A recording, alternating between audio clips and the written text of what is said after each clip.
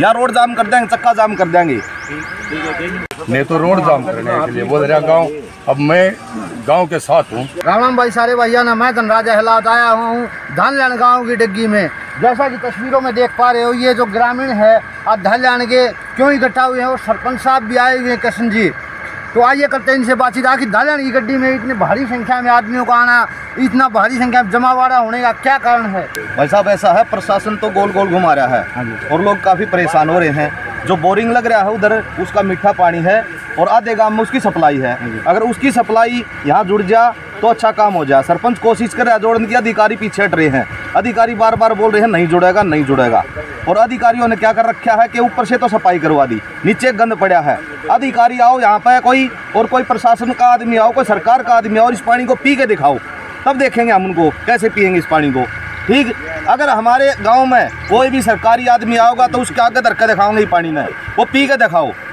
अगर हमारा समाधान नहीं होता है तो अगला कदम हम जो भी उठावाएँगे उसका प्रशासन जिम्मेवार होगा। या रोड जाम कर देंगे चक्का जाम कर देंगे। उस टाइम बहुत बढ़िया सुविधा हुआ है गाँव में पानी हो। पर उस लाइन ने जोड़ने नहीं दे रहे। सर ये है कि मेरा गाँव तो बार बार है हमको बुला बुला के भी परेशान हो चुका मैं भी बार बार यहाँ के रिक्वेस्ट कर जाता हूँ। गाँव में बोल रहा है कि भाई नहीं मानते चार पाँच महीने से कोशिश कर रहे हैं। नहीं तो रोड जाम करने के लिए बोल रहा गाँव। अब मैं गाँव के साथ हूँ। गाँव जो बोलेगा वो मैंने करना पड़ेगा। एक भाई साहब बता रहे थे कि अगर इसका समाधान नहीं हुआ तो पीने का पानी ही देंगे। हाँ ये मेरा गाँव भी बोल रहा है जो कोई कोई भी अधिकारी आएगा तो हम तो यही पानी, हमारे पास पानी यही है। कहाँ से लाएँगे? ये पानी रखेंगे हम तो पीने के लिए। ऐसे गाँव भी बोल रहा है। तो गाँव ने मेरे को बोल दिया, आगे अभी तू भी यही पिए, मेरे पास तो बोरिंग का आता है। और मैं गाँव के आगे पीछे घूमता रहता हूँ। ये समाधान नहीं हो पा रहा। एक बीच में कोई लीकेज थी, उसको मैंने जुड़वा दिया तो दोनों लाइन वहाँ जुड़ गई। दोनों जोड़ने से एक गली में पानी अच्छी प्रकार आने लग गया पीने का। आधे गाँव माता वही उसमें जुड़ गया। तो बोल रहे हैं कि इन्होंने गलत लाइन जोड़ दी। सरपंच क्यों गलत लाइन जोड़ेगा? इस डिपार्टमेंट का काम है। और डिपार्टमेंट को बार बार गाँव बोल रहा है कि भाई ये लाइन जुड़वा दो, हमारी भी बोरिंग की चाहे थोड़े समय का पानी दे दो, पर हम भी पीस के आधा गाँव तो परेशान आधा गाँव पानी पीता है। साहब को बोल दिया, हमने कई बार बोल दिया है। पीला पानी आता है, खराब पानी आता है। बहुत गंदा पानी आ रहा है। तो फिर हमारे बाद में फिर वो रोड जाम करने वाली बातें आएँगी फिर, लेकिन हम प्रशासन से पहले को ये नज़र हम डाल रहे हैं कि एक बार आके चेक करो इसको। यो तो इस्तेमाल कराया ही नहीं जा रहा।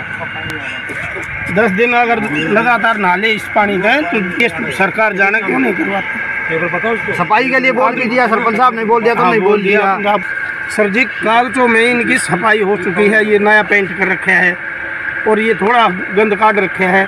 अब मौके पर देख सको हो अंदर कितना गंद मतलब बाल पेंट करा दिया भी तक गंद भरा है जो गंद कहना हो आप गंद भरा पड़े हैं है। सब हाँ ऊपर ऊपर का नहीं दिखा दिया बस सफ़ाई हो रही है एक वीडियो बनाने के कारण ये बताया ऑर्डर हाँ एक वीडियो बनाई थी उस वीडियो के कारण ये साफ़ सफ़ाई हुई है उससे पहले बाहर की साफ़ सफ़ाई तो करवा दी भीतर की जगह की है पानी तो घर में दस दिन की हो मीठा पानी आओ है। पति खराब आओ है बीमार भी हो जाए कार पड़ी है नीचे माए पाइप टूटे पड़े हैं।